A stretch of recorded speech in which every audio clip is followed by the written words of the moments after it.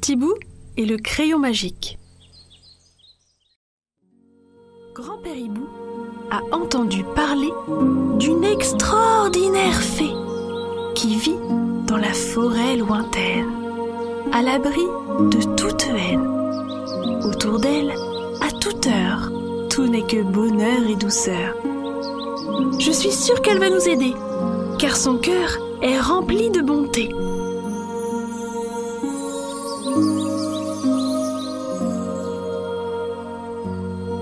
Grand-père Hibou dépose Thibou au pas de la porte sans verrou. Frappe trois coups. Et deux coups.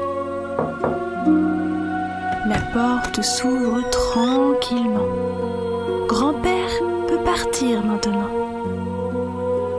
Thibou découvre alors une jolie fée aux cheveux orangés et coiffée d'un joli papillon bleuté.